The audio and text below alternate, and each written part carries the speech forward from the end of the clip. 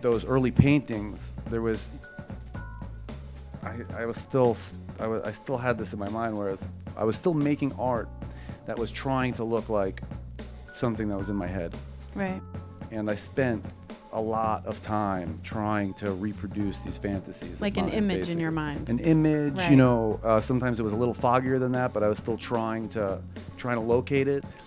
I realized after working on them for two years that no matter how I tried, I could never make the thing that was in my head in reality. You know, and a lot of these splits in in the subject matter of, of real or unreal in the work have a lot to do with my uh, ambitions for the work.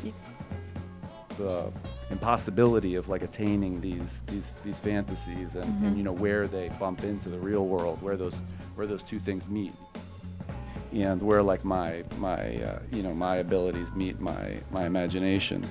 And so i think that the the three dimensions allowed me to loosen up essentially to lose control you know and it was all constant invention.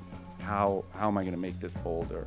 And so there's all these different things to explore which i try and like i try to get lost uh, as much as possible and for it not to be too literal but in my in my uh, studio, you know, I'm conscious of that being my my my job, basically my challenge. The- A lot of art is about you know people making decisions, you know, and saying like, this is how it's done. This is how I'm gonna do it. This is how I'm gonna get the greatest effect. Yeah. And like, I'm unwilling to do that at all. No, it's Right. in that uh, willingness to take the risk of saying, I don't know anything, but let's see what happens when I put this on the floor. And let's see if anything changes when I put it over here. You know, it's really important that I commit to them and put them out there and say, I believe in this. Like, what do you think?